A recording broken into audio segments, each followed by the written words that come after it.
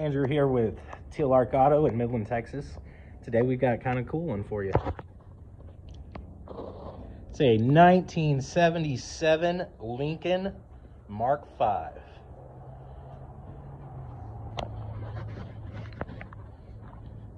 Oh yeah, it's got the 460. It's here for a couple reasons. One of the main reasons is, so a little bit of backstory. Guy's father owned it, brand new, back in 77. And look how clean this interior is for, for being all original and from 77. Got the original Quadra-Trac, which is, it's actually a Ford Quadra-Trac. Tells you about all the features while you're driving. So, guy's dad owned it originally in 77. He got tired of messing with the carburetor. He added, had one of these installed, a Holley Pro-Jection fuel injection system. It is a throttle body injection system. And it has worked great for a very, very long time. Until recently. He's had trouble, I believe he drove it from Brownwood, Texas, here to Midland. And going up hills, didn't want to go. Um, also, he wants his fuel gauge working.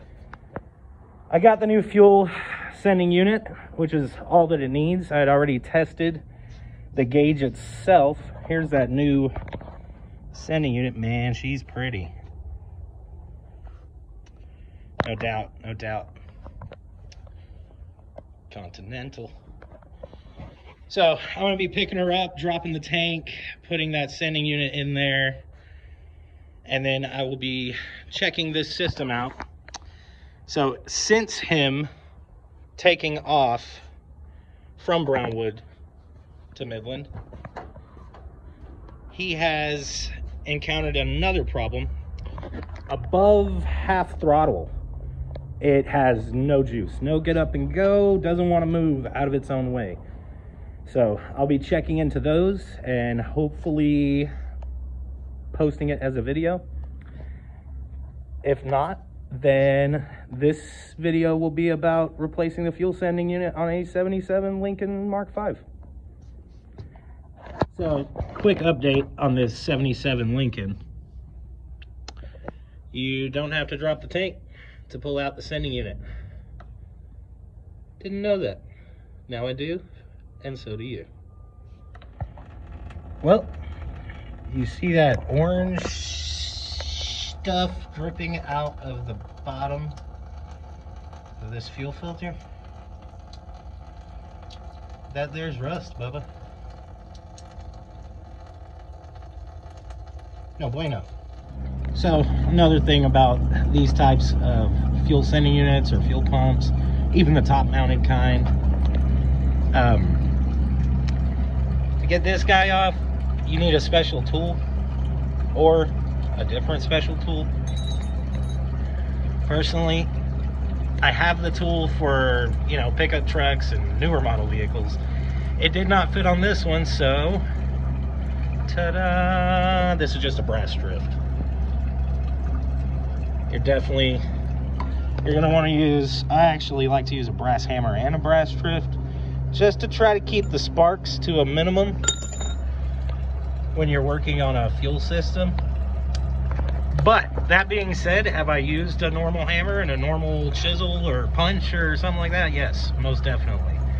Was it stupid? Mm, yes, most definitely. Am I gonna do it again? Mm, yes, most definitely. So, humor aside, don't use ferrous metals when taking those rings off of the fuel sending units or fuel pumps on those type of tanks. You can create a spark and burn your shit down. So just, just don't. Don't do it. Regardless of what I do or anybody else does in the world, you should not. All right, I'm gonna try to pry this guy out of there. Quite a bit of fuel has come out, so we're gonna see what's up with pulling the sending unit out and letting the rest kind of just, yeah, drain.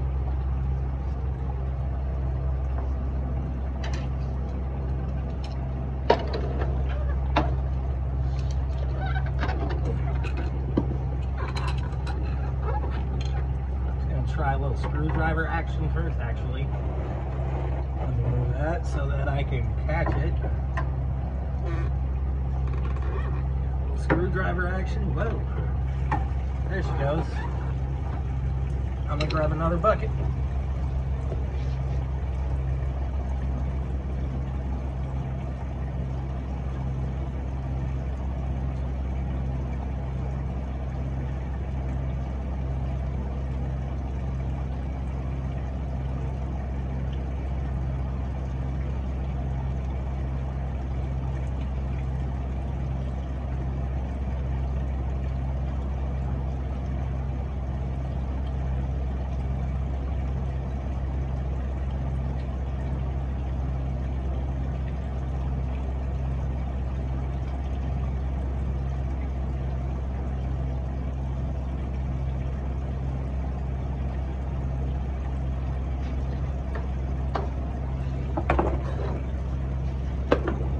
Might have done a little bit better had a old Drew buddy had a bucket ready.